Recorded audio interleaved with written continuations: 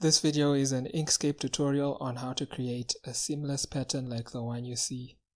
In order to follow along, the first thing you need to do is open Inkscape and make sure that the setting for scaling objects, the scale and stroke width stays proportional is set to unselected. So the proportional scale and stroke button should be unselected. Then next, let's go to file and set our document properties. I'm going to set a custom page size and set the display units to pixels.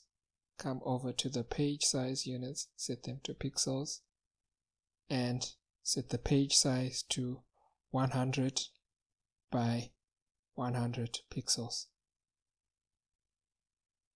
Next, I'm going to remove the shadow under the page border and close the document properties.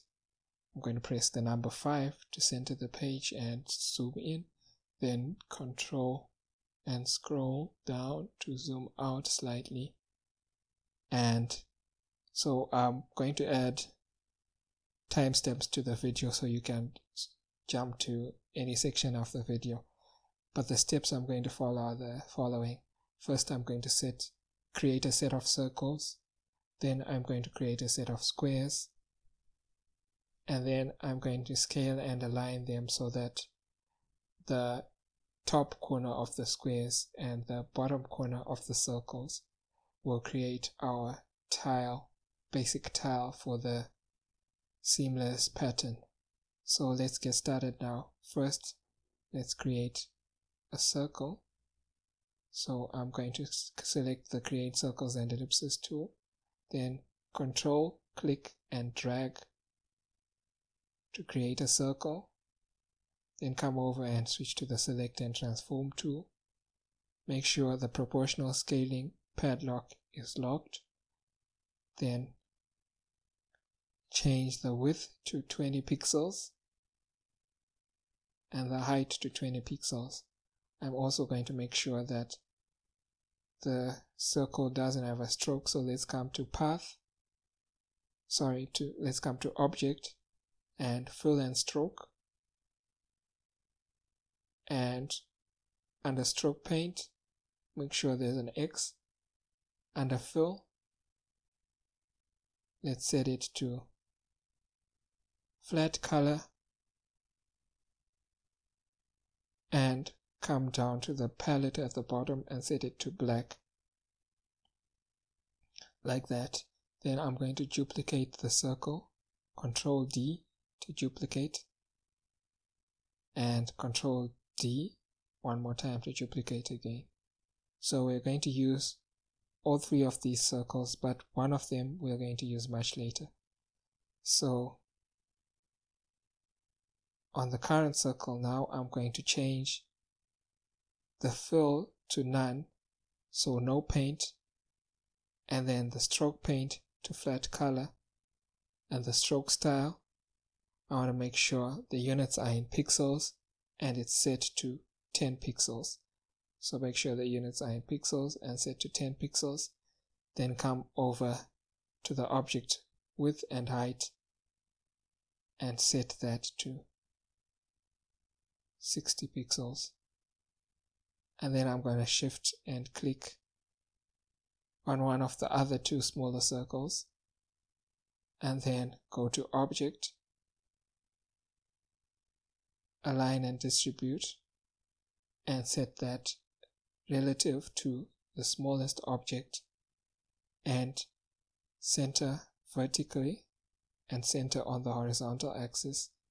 And then let's move these two away from the other circle so that it's not in the way and then click on the side to deselect them and then select the larger circle control D to duplicate it and then on the new 60 pixel circle let's change the width and height to 180 pixels and press enter then shift and select the old 60 pixel circle and align center horizontally and vertically. And then let's come over to path and change that stroke to a path.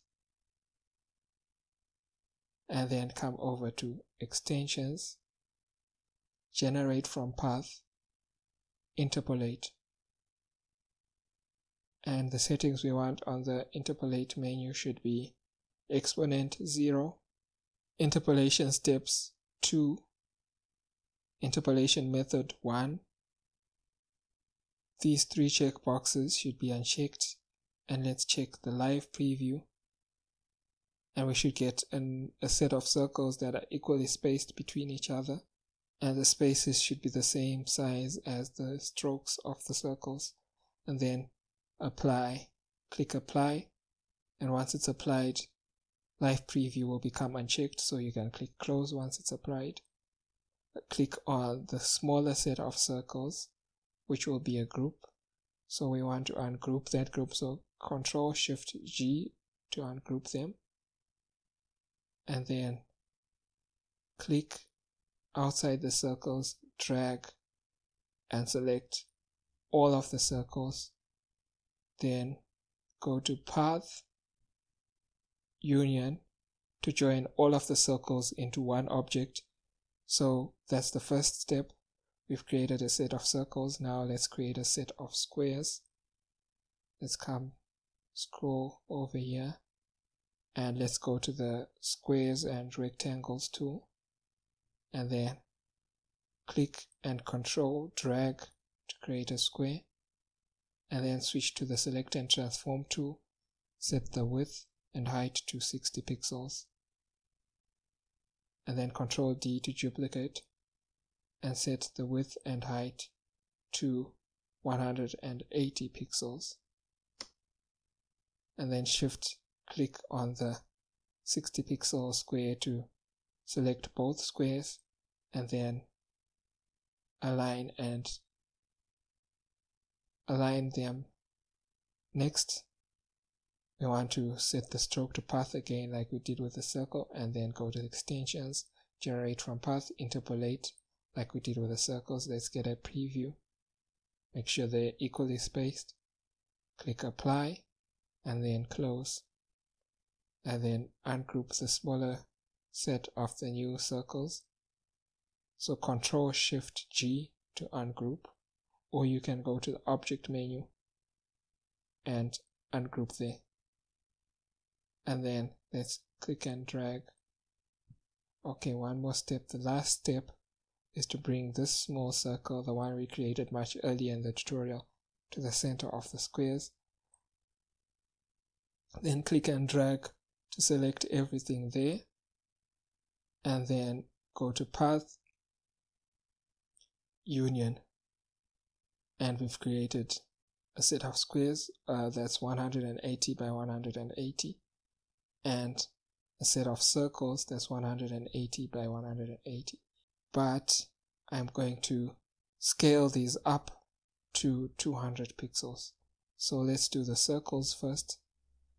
Set the width and height to 200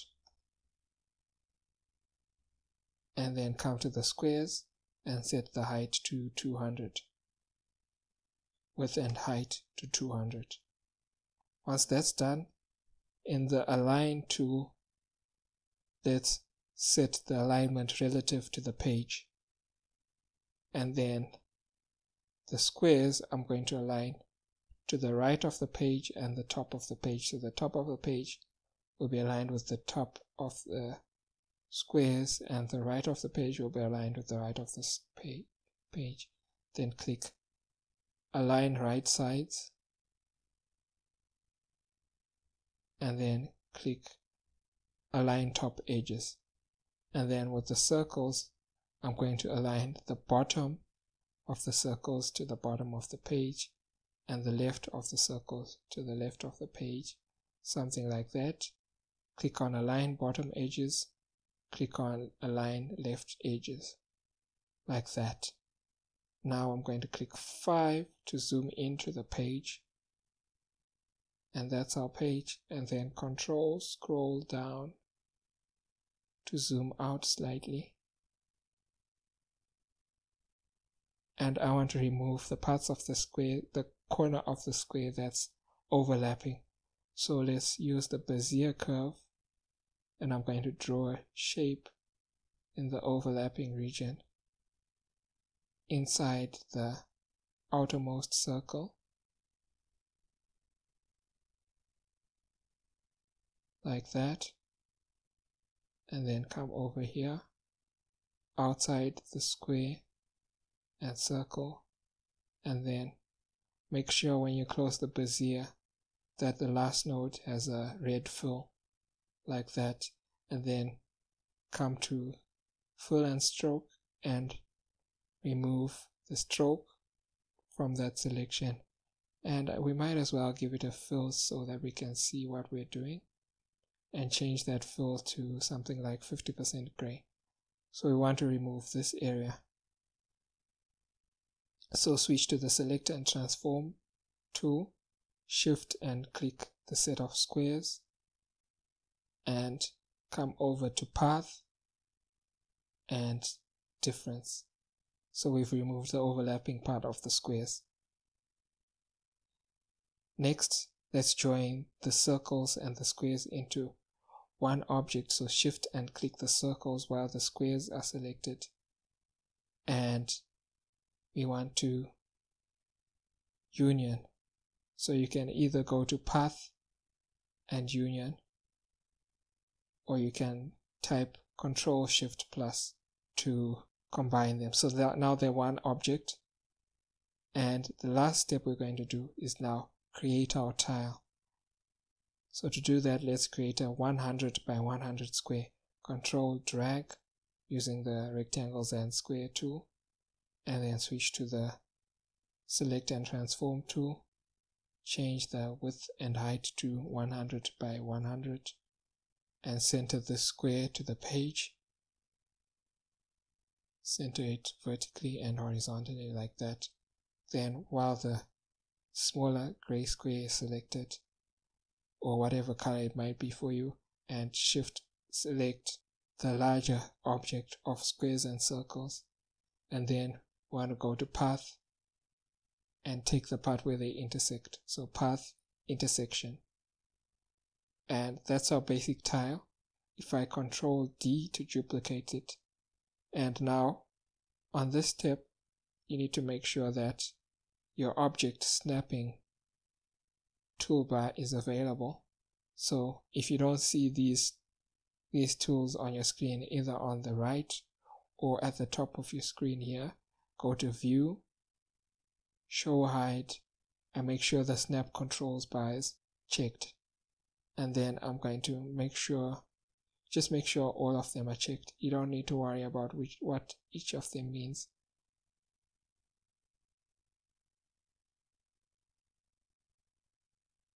like that.